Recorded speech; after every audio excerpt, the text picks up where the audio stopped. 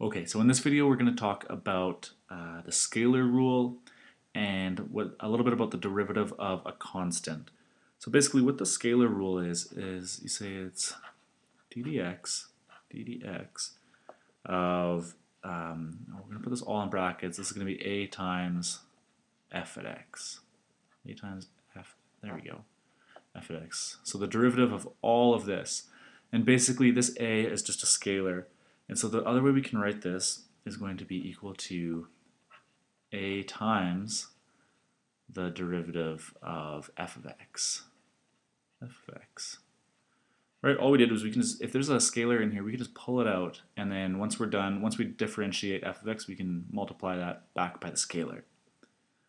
Or another way we could write this, um, if you prefer, um, you know, you could write this as a times f prime at x.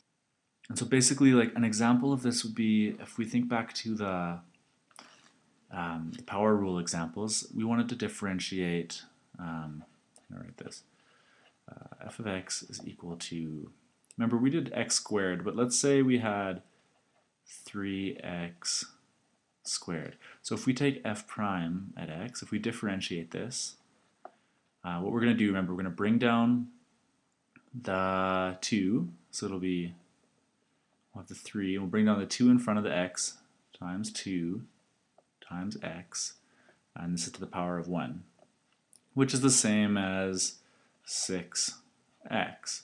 And so basically all that happened here was we did the same thing in the power rule, and we just don't even bother looking at the, the constant, as long as it's multiplied to it. And then, so we can just differentiate, we get 2x to the power of 1 times 3. It's another way to get it is equals to 6x you know, another example we could do, say, if f of x, um, let's say this was equal to 1 half um, times, I don't know, x to the fourth. So this we would get when we differentiate, we would get f prime at x is equal to, just keep the 1 half in front, 1 half times, now bring the 4 down, times 4x cubed which is equal to, well, we can uh, reduce this to uh, divide that by 2 and 2, and we get equals to 2x cubed. So I hope that makes sense. You can do that with any of the examples from the power video, uh, the power rule video. Um, now, the other thing we want to talk about in this video is the derivative of just a constant. Um, now, the derivative of just a constant by itself is zero, and I'll just show you that here quickly with the the shortened version of the limit definition of a derivative. So say we have d dx uh, of a, right? a is just any constant number. So this is going to equal, well, and you know remember what a constant function looks like, right? It just, uh, if we pick any any constant function, it's going to just be a horizontal line, you know, something like this. Uh, and whatever this value is, this is just a or y is equal to a. So anyways, back to this. We have the limit as h goes to 0. Now, we want the rise over run, right? So we know that the run is going to be h, and the rise is, well, it's just a minus a, right? They're both at the same level.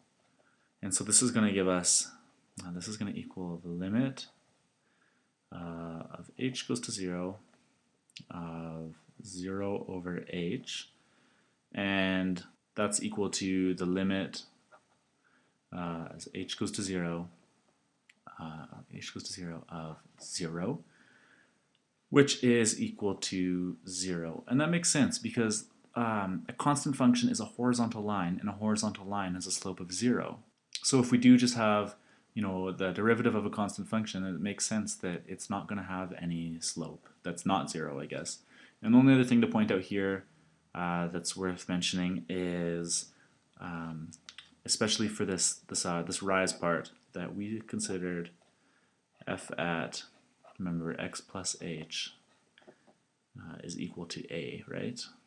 That's what we did up here, and also that's also equal to f at x which all falls into place because it is a horizontal line.